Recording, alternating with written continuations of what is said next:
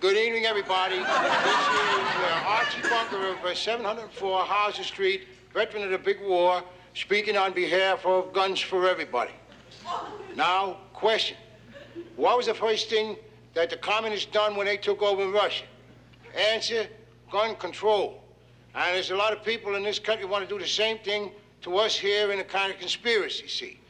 You take your big international bankers, uh, they want to, what do you call, uh, masticate the people of this here nation like puppets on a wing. And then when they get that done, turn us over to the communists. Oh, Archie, I'm Now, glad they put you on a stool. You, you look taller sitting down.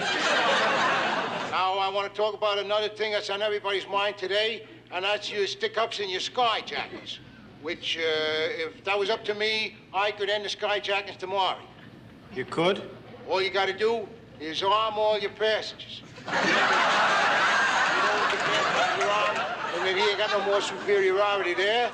and He ain't to dare to pull out no rod. And uh, then your airlines, then they wouldn't have to search the passengers on the ground no more. They just pass out the pistols at the beginning of the trip, and they pick them up again at the end. Case closed.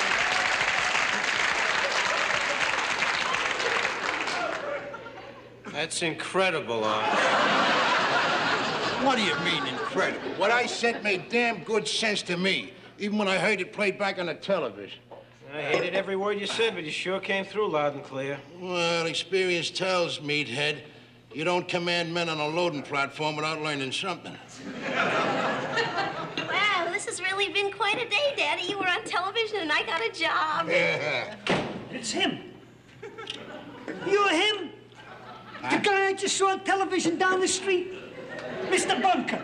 That's right. You seen the show? Hey, I want to shake your hand. Hey, gee, pleased to meet you. Hey, listen to this, the public here. Man, I really dug what you said about those guns. I mean, I couldn't have said it better myself. Oh, I bet you're real proud of him, oh, huh? Yeah, hi, oh, Daddy. Well, you know, I'm just trying to set the public straight on something, that's all. Like when you said, guns are what brings law and order to our cities. Yeah, and would shoot a hundred policemen a year. Who's this? He's only my son-in-law. Don't pay no attention to him. He's a meat-headed student. He don't know nothing about the real world. Listen, you ought to listen to him. Like when he said, quote, guns are just like free speech. Beautiful. Well, the truth is beautiful. Beautiful. You said it all, fella. Why don't you have a beer with us? You...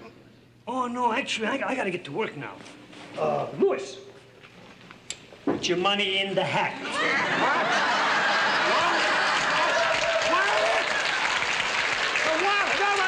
shoot now. Here, here, here. Give me that wristwatch. Archie. Give it to him, either he'll kill me. Now, that's it now, folks. Louis? Oh, by the way, Mr. Bunker, did you pay for those drinks? No. Bartender, the drinks are on me. Bye-bye, everybody.